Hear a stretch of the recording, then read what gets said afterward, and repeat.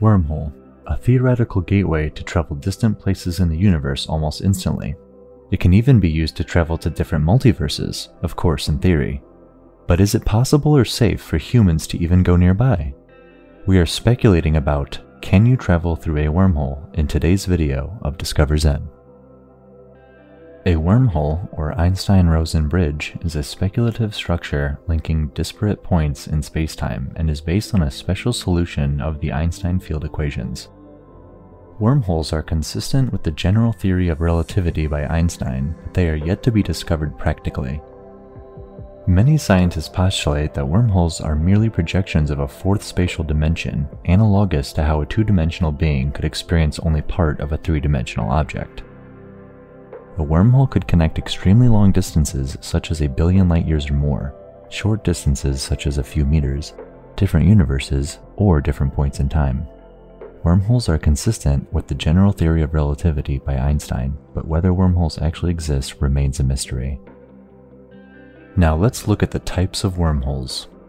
The first type of wormhole solution discovered was the Schwarzschild wormhole, but it was found that it would collapse too quickly for anything to cross from one end to the other, these wormholes are non-traversable.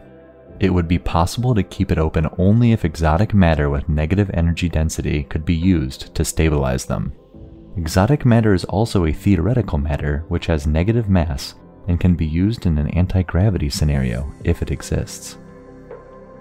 The second type can be called traversable wormholes. These wormholes would allow anything to cross from one end to another. The Casimir effect shows that quantum field theory allows the energy density in certain regions of space to be negative relative to the ordinary matter vacuum energy, then shown theoretically that quantum field theory allows states where energy can be arbitrarily negative at a given point. Many physicists, such as Stephen Hawking, Kip Thorne, among others, argued that such effects might make it possible to stabilize a traversable wormhole. The only known natural process that is theoretically predicted to form a wormhole in the context of general relativity and quantum mechanics was put forth by Leonard Susskind.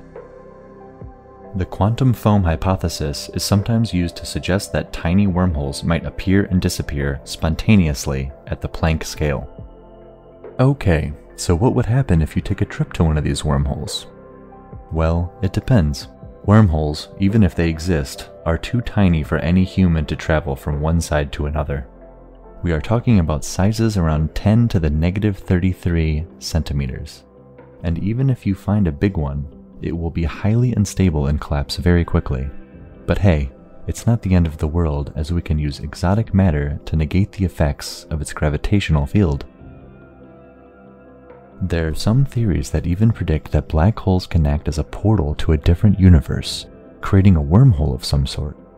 The theory suggests that it takes all the energy and mass from our universe and forms a portal from its center, which connects to a different universe where time runs backwards and spits every matter out as a white hole.